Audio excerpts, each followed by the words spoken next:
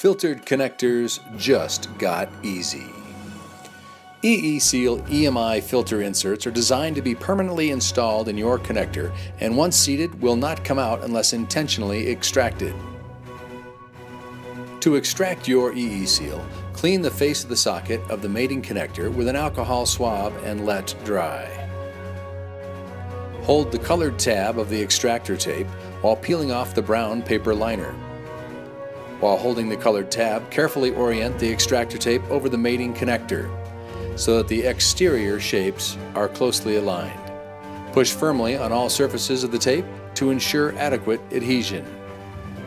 Again holding the colored tab, pull the tab laterally to carefully peel the plastic liner away from the underlying adhesive layer.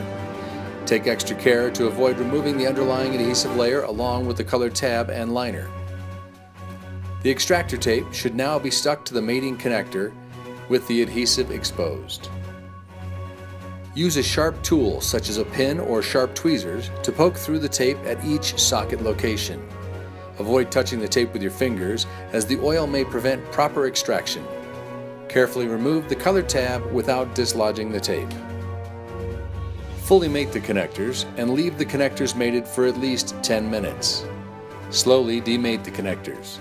The EESeal will be extracted from the host connector and adhered to the mating connector. Carefully peel the EESeal from the mating connector. Use several short peeling motions rather than a single high tension pull to reduce the stress on the EESeal. Finally, the EESeal and the mating connector can be cleaned with alcohol if desired.